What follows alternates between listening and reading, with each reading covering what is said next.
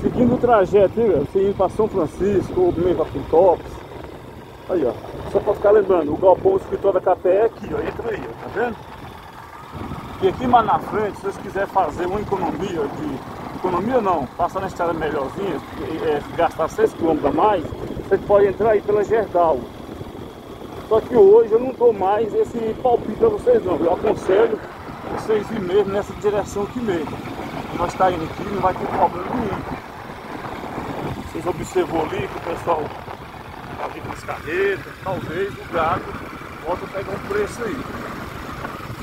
Porque no caso meu aqui, galera, estou indo nesse sentido aqui, mas mesmo a gente também está observando não só as estradas, e como é que eu vou falar para vocês se a estrada está boa, se a estrada está ruim, se eu passei por uma estrada macia.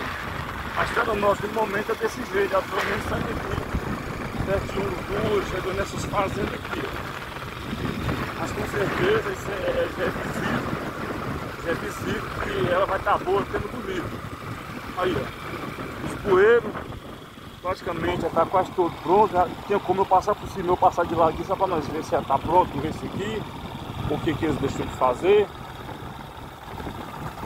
Aí, o pessoal ainda tem que fazer um acabamento aí. Pessoal, vamos dando seguimento, vai dando seguimento E ah, lembrando que a gente vai para o Pintops, né, levando esse trajeto que tem São Francisco, Minas Gerais, lá onde que eu vou pagar essa dívida que eu dei para vocês, você me pediu para nós fazer as filmagens, para saber se realmente, de fato, o povo está trabalhando por lá ou não. Eu falei, eu falei que o povo está trabalhando. Em outros vídeos para trás eu falei que eles estavam por lá. Até passei lá na fazenda de moto, errei a entrada, mas tem pessoas que falou, as máquinas estão tá lá. Então eu quero saber se realmente está fazendo alguma coisa por lá, beleza? Então dê seguimento no canal. Se você já se inscreve no canal, compartilha, se inscreve, não pula os vídeos? Não pula as propagandas também. Aí te alguma coisinha isso aí.